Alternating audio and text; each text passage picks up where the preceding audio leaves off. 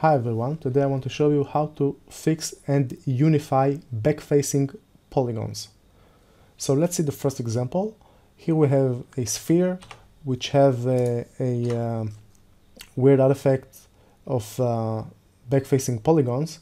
So let's see what's going on. Let's uh, switch to polygon mode, press Ctrl A on the keyboard to select everything and as you can see we have darker polygons uh, which have a, a back-facing normal or normals. And um, the problem is that I don't want to select each and every one of them because it's going to take me a lot of time to do it.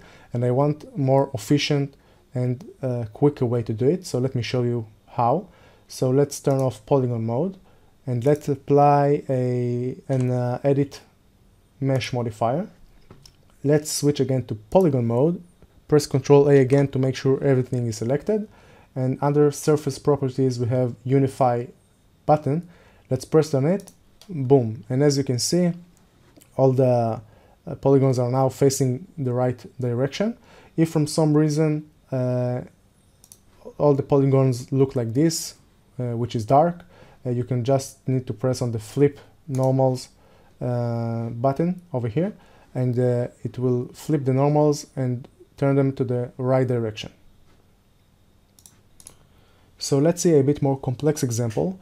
Here we have a dragon uh, model, which is a lot more dense, as you can see. It have over 2 million polygons, uh, and it have the weird artifact of back-facing polygons.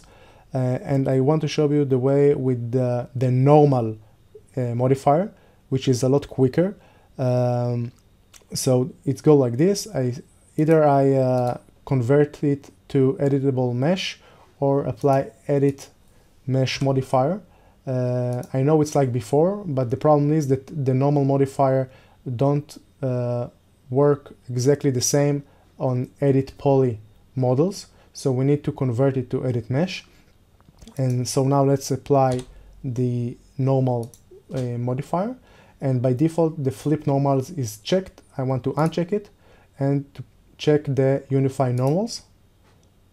And boom, all the uh, back-facing polygons are now unified with the others and it's look perfect. Um, and that's it. Please thumbs up if you like the video. Uh, please subscribe and uh, see you on the next tutorial. Bye bye